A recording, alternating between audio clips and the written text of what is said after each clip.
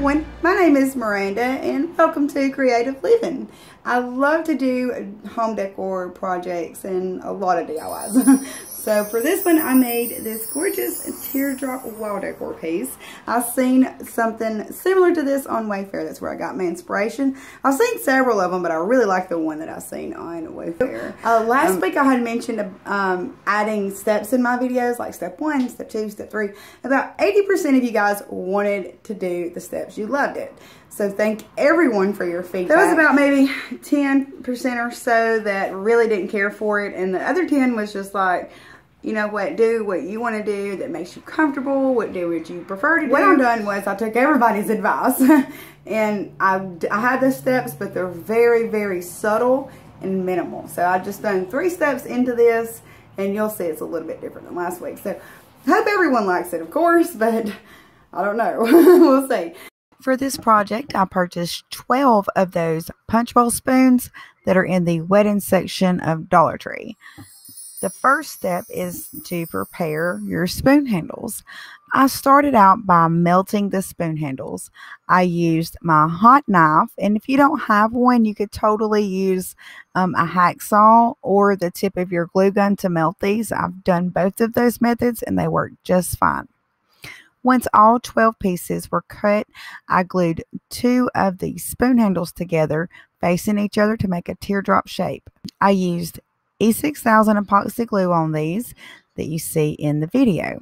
I actually tried hot glue at first and it really didn't take that good, so I applied a little bit more. Then I had a big bulky pile of hot glue that just didn't look pretty. So it and it also made it a little bit heavier compared to the ones that I used the E6000 on. The E6000 didn't show up and it just really looked like one whole piece and that's what I was looking for. I couldn't decide if I wanted to use bling wrap or paint it or do the Mod Podge and glitter. So I done a round of testing and you could do a lot of different looks with this.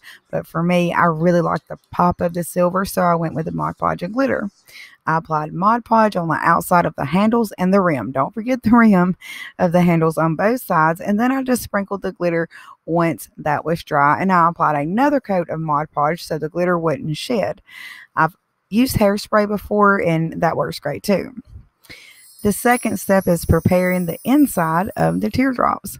So I picked up um, some wine glasses, these plastic wine glasses at Dollar Tree in the wedding section. They have a um, six pack of silver and they have like more of a, a mirror finish. And they also have an eight pack of the clear ones.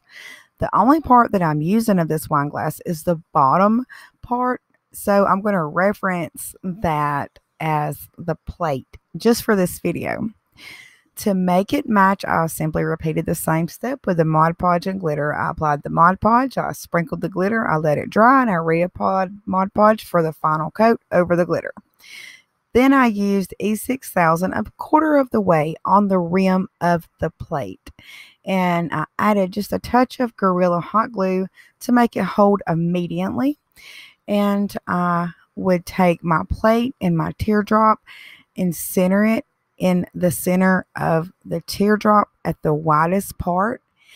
Once it grabbed, I would flip it over and apply more hot glue on the back and I would hold these pieces together for a couple of minutes and I actually was sitting in front of a fan so I'd face the glue toward the fan and the glue would dry a lot faster and I repeated this for all six of my teardrops.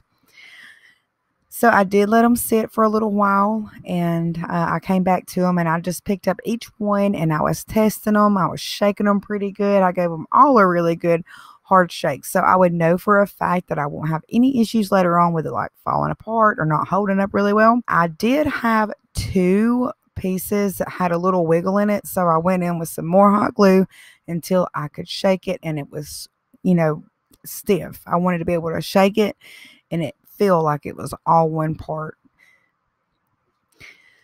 This is totally optional. I wanted to hide that bulky glue in the back of these plates. I just I just really didn't like the way that looked and I do not know why this hot glue um, came out like so tarnished looking. But anyway, I know nobody's going to see it because it's facing the wall.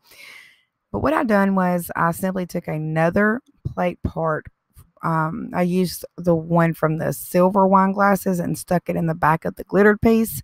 And this worked out perfectly and it gave it a little bit of dimension and a pretty shine from angles. Then I used a pack of round napkin rings, and these also come in a pack of six. If your Dollar Tree doesn't carry napkin rings, you could totally use those little round plastic pill holders in the medicine aisle. So I made these match with Mod Podge and glitter as well. My third step was assembling all of my pieces. I glued the napkin rings in the center of the plate with hot glue.